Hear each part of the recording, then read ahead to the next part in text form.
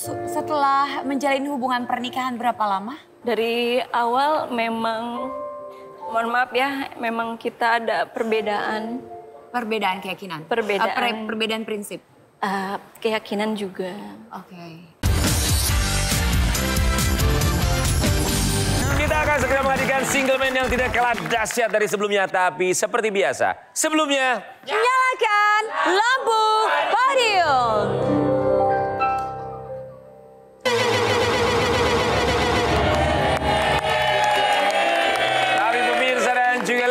Yang ini juga tidak kalah dahsyatnya, sangat dahsyat luar biasa. Dahsyat undian MNC Bank kembali hadir dengan grand prize, mobil dan juga hadiah miliaran rupiah. Baiklah pemirsa, mari segera buka tabungan dahsyat di cabang MNC Bank. Info lebih lanjut kunjungi www.mncbank.co.id. Baik, ladies, akan langsung segera kita hadirkan single band berikutnya.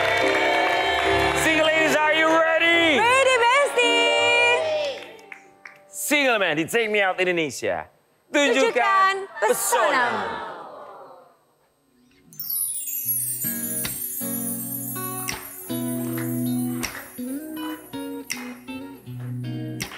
Ladies, inilah dia sang Single Man. Kita jika tak ingin akhirnya kau menangis lagi. Jangan terlalu kau dekat Jangan buat terikat. Coba kau rasakan lagi. Mungkin kau dapat perannya Tapi hanya sebagai bayang-bayangnya saja. Jangan minta jatuh sakit sebelumnya masih kurasa. Beri waktu hingga aku mampu lupakan semua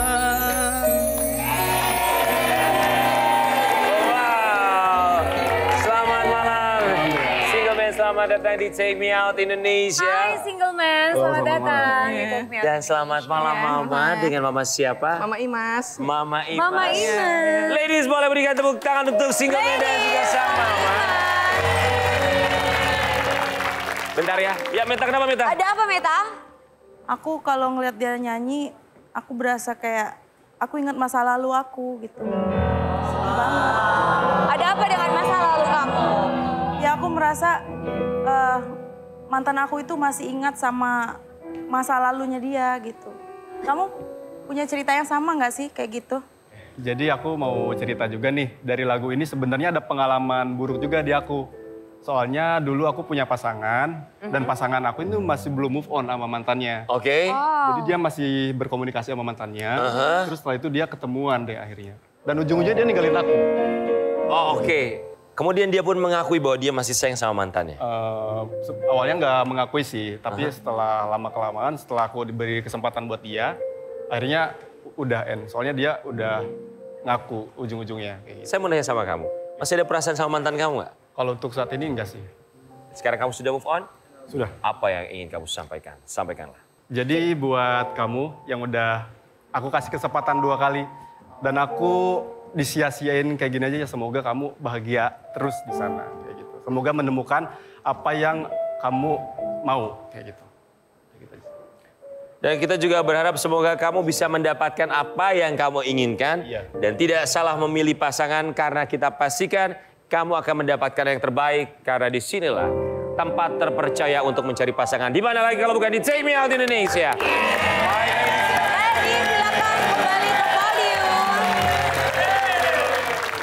Baik single man dan juga mama, kita akan berikan kesempatan untuk putra mama memperkenalkan diri terlebih dahulu. Sudah siap? Siap. Silakan maju satu langkah di Take Me Out Indonesia. Silakan perkenalkan diri. Halo, selamat malam ladies.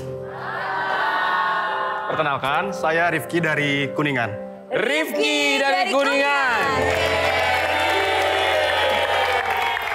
Mama, kita akan segera memasuki round pertama. Di round pertama ini single ladies memegang kendali penuh.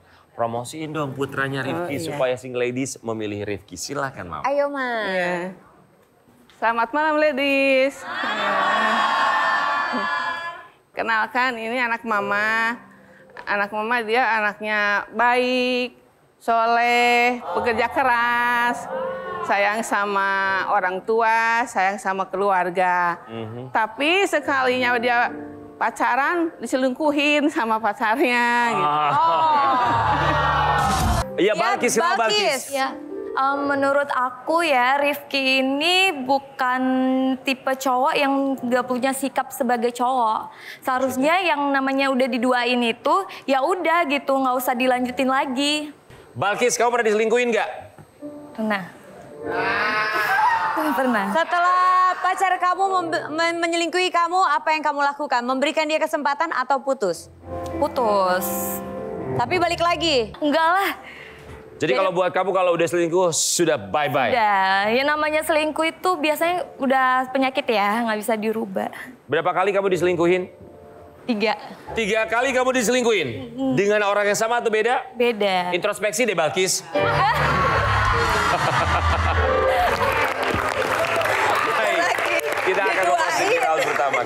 lihat ya berapa banyak yang terpakai pertandingan kamu. Fikri dari Kuningan. Ladies, tentukan pilihanmu sekarang.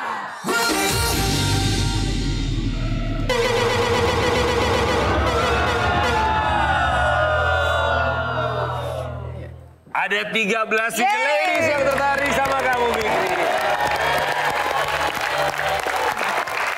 Lebih banyak single ladies yang berpengalaman loh, yang sudah pernah menikah yang tertarik sama Fikri ya. Nah, tepat di samping saya ada Ais yang tetap menyalakan lampu podium buat kamu. Ais.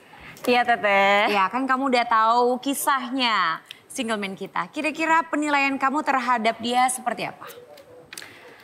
Eh, saya sadar ya kalau kita itu emang butuh kebahagiaan ya teh. Aha. Tapi kadang kalau misalkan kita udah pernah menikah, kita itu tidak bisa memutuskan tali pernikahan itu begitu saja teh. Betul. Ya kan? Jadi kalau misalkan kita udah pernah menikah, kita hanya bisa bersabar eh, dan menunggu agar pasangan kita itu suatu hari nanti bisa berubah.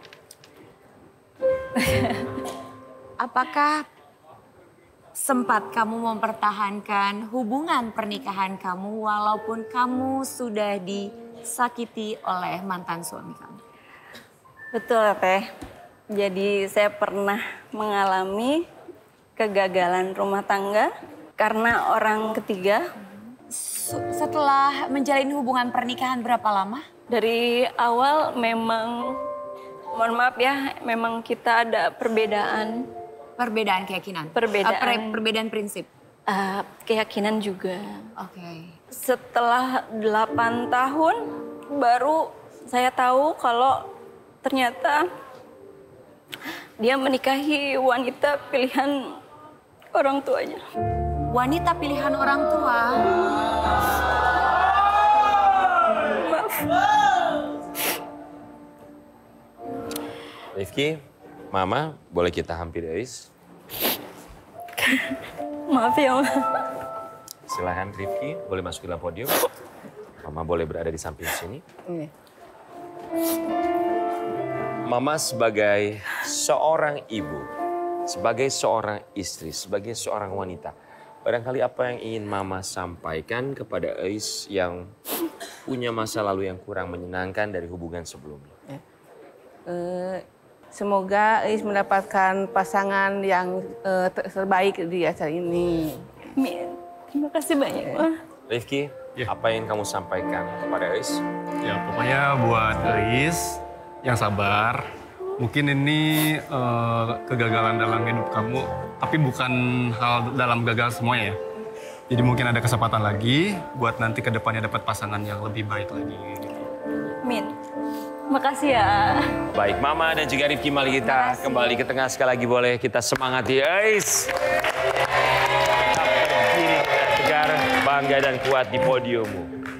Baik, Rifki dan juga Mama, masih ada 13 lampu podium yang menyala. Kita mau masuk ke round kedua. Ya. Single ladies masih memegang kendali penuh. Ladies, tentukan Pilihanmu sekarang.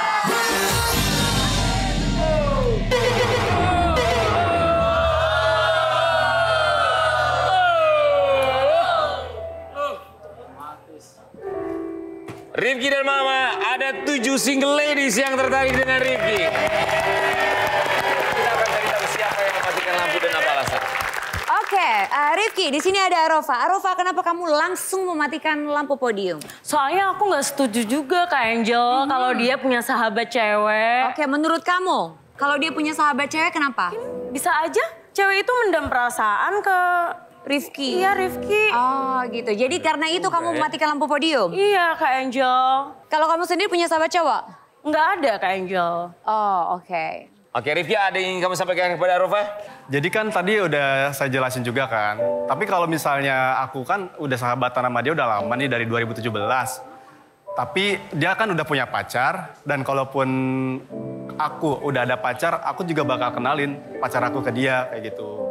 Jadi memang memang bener-bener real sahabatan aja. Tuh, emang real Tuh. sahabatan Arova. Tapi bener juga sih, siapa tahu tuh perempuan yang mendam perasaannya kita nggak pernah tahu kan. Tapi seandainya nanti kamu punya pasangan, kemudian pasangan kamu posesif sekali, pahit-pahitnya tidak bersahabat dengan sahabat kamu itu yang tujuh tahun sudah menjalin hubungan sebagai sahabat, sanggupkah? Kalau misalnya emang eh, pasangan aku nggak setuju, kalau misalnya aku selalu dekat sama dia atau jalan ke mana-mana sama dia, curhat sama dia, ya aku bakal ngurangin sih, Rian kayak gitu. Walaupun kamu sudah bersahabat selama tujuh tahun. Ya paling mengurangi sedikit komunikasi aja kayak gitu. Oke, baik. Mengikuti apa kata pasangan kamu. Tapi Iya. kita juga berharap semoga yang jadi pasangan kamu bisa menerima kamu bukan hanya kamu dengan keluarga, termasuk sahabat kamu yang sudah bersahabat dengan kamu selama tujuh tahun ya. Iya. Baik Rifki dan juga Mama, apa yang ingin Mama sampaikan kepada Rifki sebelum dia menentukan pilihan? Oke, Mama doain ya. Moga Ripki mendapatkan jodoh yang terbaik, jodoh yang setia, sayang sama Ripki, sayang sama keluarga. gitu. Ladies, boleh berikan tepuk tangan untuk Rifki dan juga Mama. Baik Rifki bersiaplah. Dari tujuh lampu podium yang masih menyala, matikan empat lampu. Biarkan tiga lampu tetap menyala. Oke. Sudah siap? Siap. Rifki di Take Me Out Indonesia. Tentukan pilihanmu sekarang. Silakan, Silakan Rifki. Rifki. Mari Mama ikuti kami. Matikan Rifki. empat lampu podium sekaligus.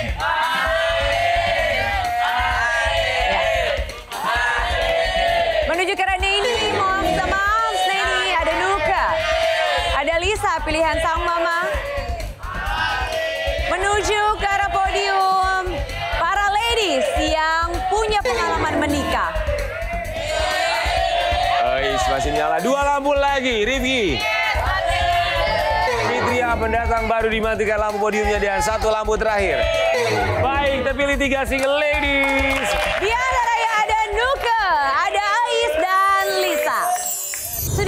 Rifki dan juga Lisa yang akan bermain dalam permainan Melodi Cinta.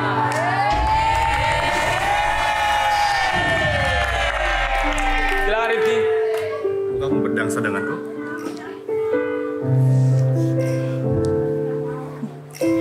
Malam Lisa.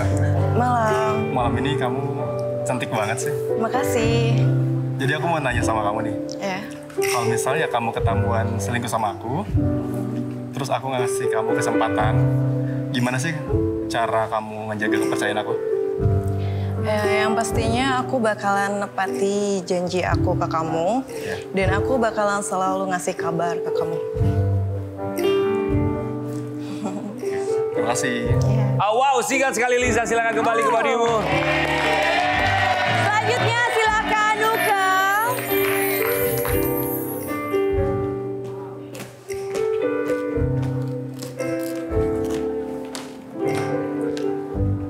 Dan juga Rifki kembali kita mainkan Melodi Cinta. Bukan perdangan salah denganku. Aku tanya sama kamu nih. Apa itu? Aku kan orangnya tipikal orang yang sedikit tertutup. Ya. sama orang baru. Nah, gimana sih cara kenalin kamu, cara kenalin aku ke keluarga kamu? Caranya mudah kok. Kita nanti bakal jalan-jalan, kita quality time, kita bisa traveling sama-sama. Nanti keluarga kita bisa saling dekat. Itu aja kok mudah. Makasih ke Iya, sama-sama. Baik, terima kasih banyak. Silakan kembali ke podium.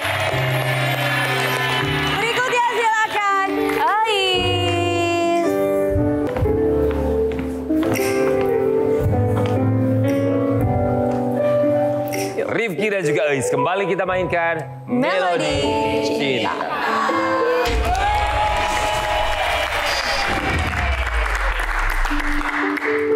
Buka kamu berdansa dengan voice. Ya, boleh. Malam Ais. Malam. Malam ini rambut kamu bagus banget sih. Wangi, Makasih. cantik.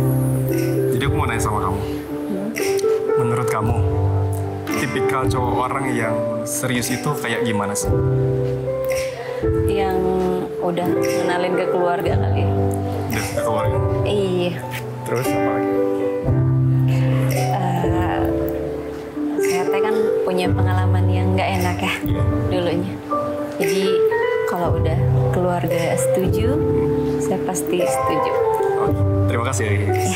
Baik, terima kasih banyak Ais. Terima Silakan kasih Siap-siap matikan dua lampu podium. Biarkan pilihanmu lampu podiumnya tetap menyala. Rifki di Take Me Out Indonesia. Tentukan pilihanmu sekarang. Silakan Rifki matikan dua lampu.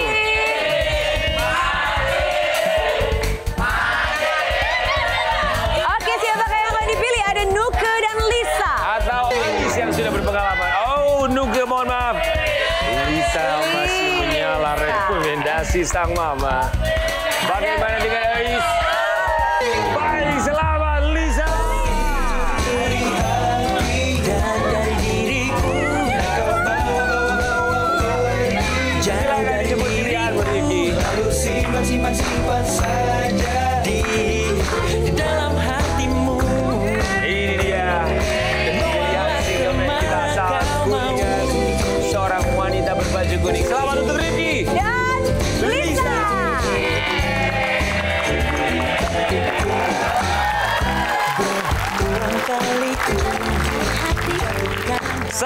Rifki dan juga Lisa. Lisa yang merupakan rekomendasi sang mama dipilih oleh Rifki. Alasan kamu Aku ada dari awal ngelihat Lisa kayak udah ada feeling aja sih. Terus kan rekomendasi dari mama juga, mungkin mama juga udah sering sama dia, jadi akhirnya ya sesuai sama yang aku mau juga. Semakin yakin. Semakin yakin betul. Apalagi direkomendasikan oleh sama mama seakan Iya. mendapatkan restu ya. Iya. Selamat buat kalian berdua dan kita berikan modal kredit. Uang tunai senilai 10 juta. Selamat,